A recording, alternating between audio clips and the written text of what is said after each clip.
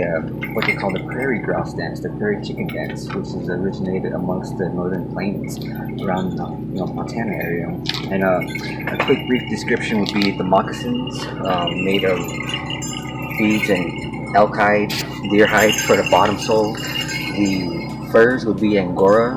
The bells are a symbol of old time trades, how we used to trade with the uh, Europeans. The pants the shells will be for how we traded with the coastal Indians as well. The trade cloth is what we also traded for furs and you know food and such. So this otter would be an otter sash, and it was um, made for you know many many different purposes and reasons. Um, what I'm about to unwrap here was actually my roach. This is made of the porcupine hair of the porcupine. So Oh wow. yeah, the the porcupine is this part, and then the colored part would be the uh, colored deer hair, the guard hair, deer tail. There you go. And this would be you know attached to it. Wow. I have my armbands, which are made from deer, the uh, the deer legs. So you utilize every bit, every part of the animal as you can, you know. And also my, my knife, which was a buffalo buffalo rib actually that I um, had had made, and it's actually in there, but it kind of doesn't tag. Wow.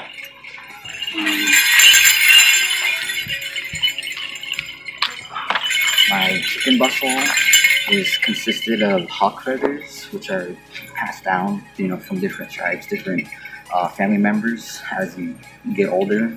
Um, how I was explained through the, the trailer is these are your warriors that are heading towards the uh, hunting ground or battle, and this would be your enemy. So your enemy would be in the middle, and they would come up.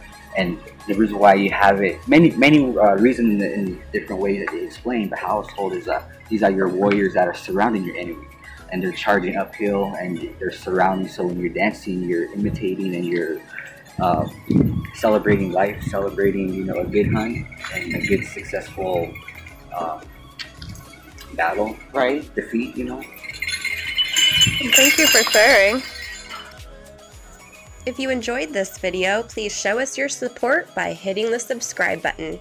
And for additional Oregon news, don't forget to visit us at www.freeforallnews.com.